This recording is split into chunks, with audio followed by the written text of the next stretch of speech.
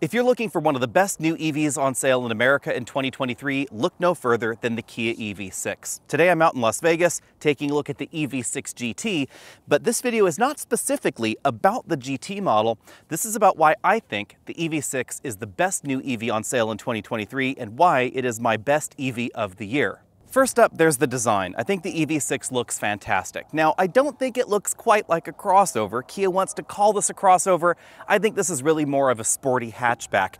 It is fairly low to the ground with an especially low roofline. If you want more headroom, you are going to have to shop elsewhere. You could, of course, get the Hyundai Ioniq 5, which I think is a very close runner-up for me for 2023. Starting this model year, the EV6 is going to be available in three basic formulas. We have the wind trim, that's the base model. It'll start out as a 310 mile rear wheel drive vehicle, or you can go all the way on up to this one, which is 576 horsepower and 0 to 60 in 3.4 seconds. There's of course the GT line if you want some of the design cues that you find on this model with a lower sticker price and of course the longer range capability. You can get either 310 miles in the rear wheel drive one or about 250 miles in the all wheel drive one. Let me know what you think about the look and how you think this compares to the Ioniq 5 down there in the comment section. From this angle, the sporty hatchback styling is, I think, a bit more obvious. This is somewhere between hatchback and liftback. It does have a relatively horizontal hatchback here, but it's just not as upright as the average mainstream crossover, like a Kia Sportage would be. I'm really intrigued that the EV6 GT doesn't end up with some enormous boy racer wing back here. In fact, it has the exact same spoiler as we find in the GT line and the same sort of ducktail spoiler that we find in the GT line as well. In fact, all the way around, it's a little bit difficult to tell tell the two apart, except that we get some additional reflectors down there and some very light tweaks to the front bumper as well. At this point, I should apologize if you hear any jets rumbling in the distance. Unfortunately, at this EV6 GT Drive event, it is really close to an Air Force base and they're practicing all around me. The pricing range of the EV6 is also really narrow, and that's an advantage. It starts at $48,500, so a little bit higher than I might like, but it tops out at $61,400, plus, of course, destination for this top-end GT trim. That is much narrower than we find in the Ford Mustang Mach-E or the Tesla Model Y, the two most direct competitors to the EV6. And this charges faster than either of those options thanks to its implementation of an 800 volt charging system. It uses the CCS charger right down here inside this tail lamp flap right there. If you have access to a 350 kilowatt DC fast charge station, you can go 10% to 80% in 18 minutes and 0% to 100% in 43 minutes. So this will go from zero to completely full in the time it would take a Mach-E to gain just 70% battery. That is a big, big deal. A Tesla Model Y is a little bit faster charging than the Mach-E, but this is still significantly faster. And thanks to the design of the battery architecture of the EV6, this will still charge really fast, even if you have access only to a 150 kilowatt station, because this will maintain 150 kilowatts for a really, really long time as it DC fast charges. That could mean for some folks that the shorter range that you find in some of these trims might be a non-issue because it charges so much faster. Kia also gives you a small vehicle to load functionality. You can offboard about two kilowatts of power from the rear. There's a pretty accommodating cargo area back here where I was able to fit about the same amount of cargo that you can fit in a Model Y or a Model 3. But as some of you have complained, under the hood, we don't find a front trunk. That's simply because the front is very, very short.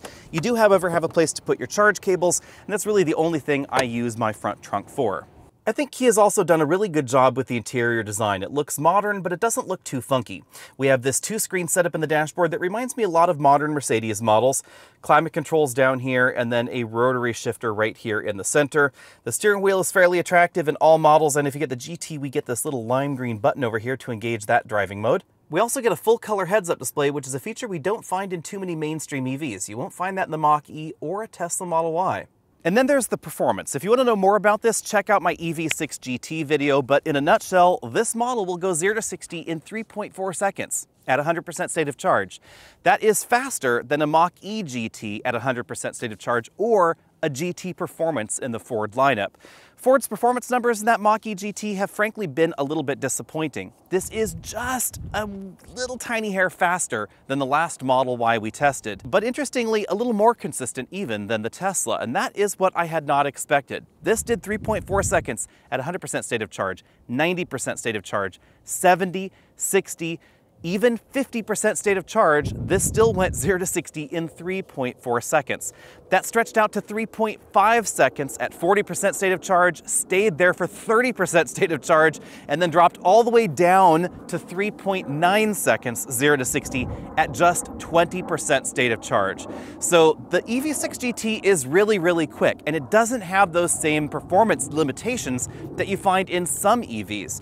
I was shocked by that. That likely has to do with the 800 volt architecture and obviously battery and motor cooling as well. It could also be that Hyundai and Kia are perhaps a little bit more aggressive when it comes to battery lifetime than we find at a Ford, but we probably won't know for about 10 years and 100,000 miles or so. Perhaps more important for a lot of shoppers out there is the consistency of the performance curve in all versions of the EV6, whether we're talking about the rear-wheel drive model or the 320 horsepower all-wheel drive model. Performance is very consistent from 100% state of charge all the way down there towards 10 and 15% state of charge. It does taper off a little bit right down there at the bottom, but performance is excellent. And you will notice it does not taper as much as most of the competition. So if you want an EV that drives just like it did when it was completely charged, regardless of that state of charge, you want to get one of these.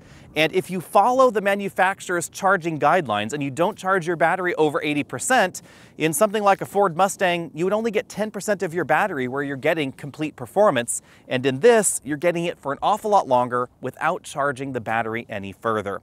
All of that together makes this my top pick for EVs in 2023. Let me know what you think about that down there in the comment section. What would your top pick be? Do you agree with me on this one? Or would it be your pick if Kia could somehow build more? And that is a problem here. If you want an EV readily available in this sort of size category, You'll pay a lot more for it, but the Tesla Model Y is going to be there, and that is definitely a top pick for me as well for 2023 because of its availability. They only built 20,000 of these last year. Hopefully in 2023 they will be building a lot more, but we don't know where their production capability limit really is. Demand has certainly outstripped supply. Let me know what you think about that. Hit that subscribe button if you haven't already done so, and check out the related channels. I'll see all of you later.